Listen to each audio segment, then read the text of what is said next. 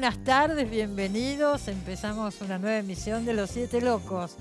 Y vamos a empezar hablando, no sé si de artes plásticas, de cine, de todo un poco, porque nuestro invitado es muy especial y actúa en diferentes ámbitos ¿no? del mundo cultural. Hace bastante que no lo teníamos acá en el programa y estoy muy contenta de, de volver a verlo, aunque sea por Zoom. Ahí lo presentamos. Marcos López nació en Santa Fe en 1958. Es uno de los artistas visuales más importantes del país. Dirigió el documental Ramón Ayala y es autor de títulos como Pop Latino y Verdad Consecuencia. Recientemente se estrenó el film López, que lo tiene como protagonista. Bueno, Marcos, ¿cómo estás? ¿Cómo estás, Cristina? Qué gusto me da. eh, eh, esto ya, mira, estuve un año para aprender a usar el Zoom y lo logré. Ya toco el botón y me sale. Yo también aprendí ahora, nunca en mi vida había hecho Zoom ni tantas cosas que uno aprende. Por suerte que existe, yo me quejo, pero digo suerte que existe, porque si no, no podríamos Suerte. hacer el programa directamente. Así que esto es lo que tenemos. Y me quedé con una palabra que dijiste en la presentación. Marcos López actúa en diferentes disciplinas. Eh, Y, y, y en un punto es así, porque cuando se prende la cámara, uno empieza a actuar, digamos. Bueno. Eh, acá, eh, esa co- eh, me, sale, me salen los grandes titulares entre el documental y la ficción, esa zona ahí de dudosa eh, eh, el dudoso límite entre el documental y la ficción. ahí está, porque vamos a decir que te- ahora en el último Bafisi tuve la sorpresa de verte act- actuando. Un documental ¿La sobre? Marcos. Lo- La vi, por supuesto, la vi por, por, por no sé por dónde la vi, por, por Cinear creo Por- que la vi. Por Cinear. Sí, sí, Sí. sí. La dieron en Cinear un fin de semana, sí. Ahí la vi. Se llama López y vos decís en la película que el momento es especial porque cumpliste 60 años, porque había muerto tu papá, porque tu mujer se iba a vivir a México con tu hija, porque te estabas mudando. O sea, era un momento medio de crisis y todo eso también está mostrado.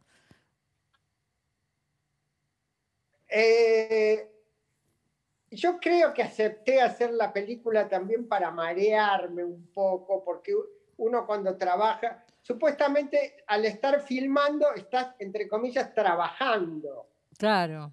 Los- traba- Sí, estamos sí. trabajando, entonces, Obvio. y sí, Por supuesto que sí. Eh, entonces, siempre tuve esa... ho- Hoy me dieron, hoy me dieron ganas de, ci- de citar a profesionales de la salud. Hace unos años yo tenía un psiquiatra que me decía, estás maníaco, Marcos, estás maníaco, porque yo trabajaba como me ponía a trabajar compulsivamente, que ahora con- te cambio un poco el tema, con la pandemia es como que me dieron un palo en la nuca, que hace un año que estoy ¿No quieto, trabajás? sin tomar avión. ¿eh? ¿No trabajás? Trabajé mucho el, el invierno pasado que me puse a pintar unas fotos antiguas, hice todo un trabajo de fotos antiguas pintadas a mano, me puse a hacer unos pingüinos de, para vender por Instagram. Eso lo vi, sí. Pero, pero, pero ahora se me, estoy como, no sé si decir, después de la película, medio paralizado de trabajo. Em, fue un momento de movimiento familiar difícil y, y lo que tiene que, digamos, yo un poco acepté porque primero una cosa de, dije, yo me pasé la vida mirando las, me pasé desde que tengo 18 años mirando las vidas ajenas, Mm. mirando vidas ajenas. Entonces acepté un poco que Ulises me filme y luego el director hace el recorte que a él le da la gana. Obvio. Pero es un, es un gran mérito, para, es un gran mérito de la película eso, cómo está editada, cómo están mezclados tu vida personal con la vida profesional. Es un trabajo de edición que se hizo que está muy bien hecho, pienso.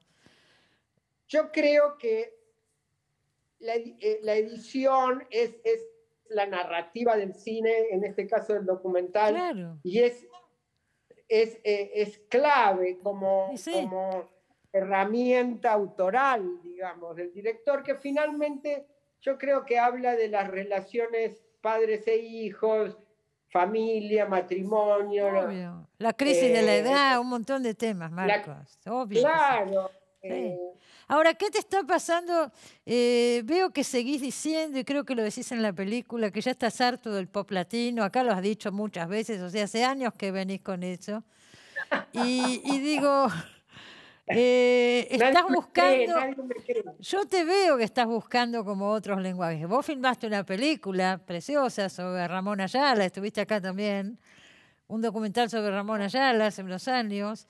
Y por eso te digo, estás buscando como otras formas. Esto también, aunque acá te entregás a otro artista y vos sos el objeto de estudio, pero digo, estás buscando otras maneras.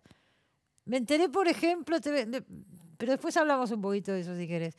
De lo citás en el documental. Esta filmación que hiciste, una especie de making of de la película El viaje de Pino Solanas, hace unos cuantos años, que se estrenó ahora, tengo entendido.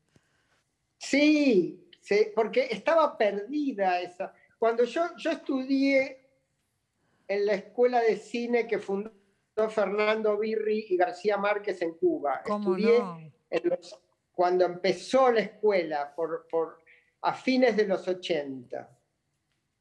Eh,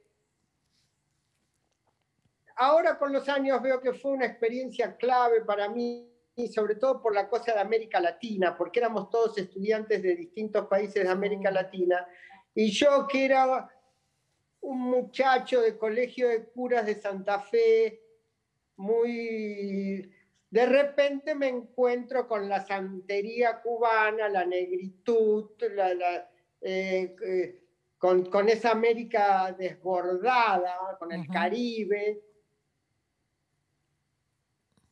Y, creo que ahí me da esa cosa medio bolivariana, ¿viste? Una cosa medio bolivariana de salir en busca de la América profunda. Cuando, cuando vuelvo de, la escuela de Cuba en los años 90, alguien me recomienda a Pino que, que, grandilocuente si los hay, de ahí, de ahí a Pino se le ocurre hacer una película El viaje, que era una mezcla entre eh, el viaje del Che Guevara y un chico ah. que se busca a sí mismo y estaban necesitando un documentalista y, yo estuve un año siguiéndolo a Pino. Un año estuviste viajando con Pino Solano. Sí, con viajes intermitentes, yendo y viniendo. Ah.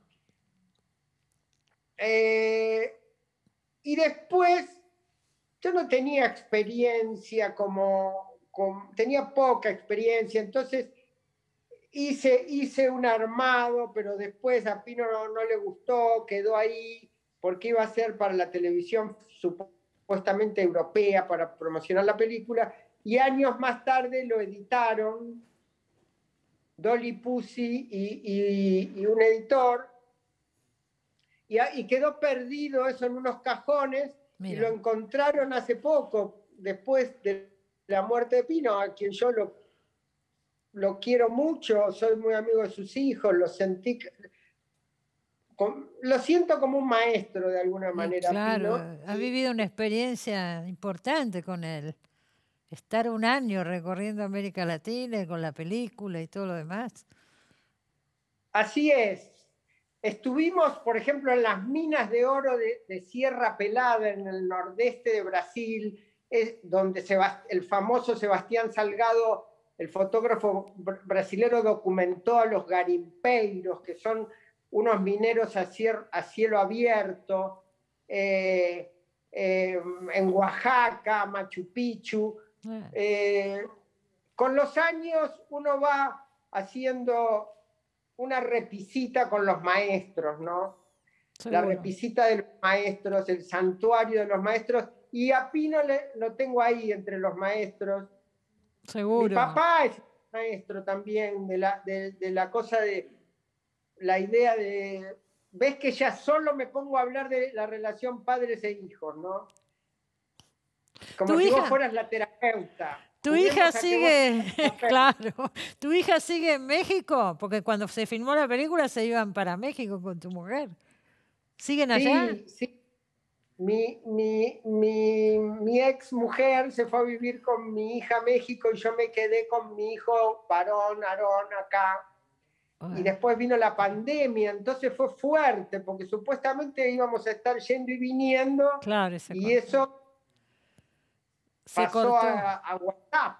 Seguro, se cortó ahí, se cortó ahí. Los chicos además te contestan el WhatsApp cuando a ellos les da la gana, ¿no? Es que si lo llamás por teléfono no les gusta a los, Hay que ser cuidadoso, hay que ser cuidadoso.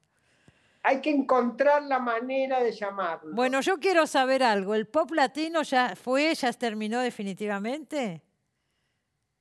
Mira, eh, el, pop latino me, ya tengo, yo mismo inventé el, el Frankenstein que me da de comer, digamos. Entonces, la gente me manda fotos por Instagram, me dice, Marcos, vi, esta, esta, vi este paisaje y me hace acordar a vos, y las chancletas fosforescentes y la manguera y el pato inflable. Yo lo hago, viste, te lo hago, pero por momentos me gustaría tocar, aprender a tocar el cello, ¿entendés? Y tocar otras melodías.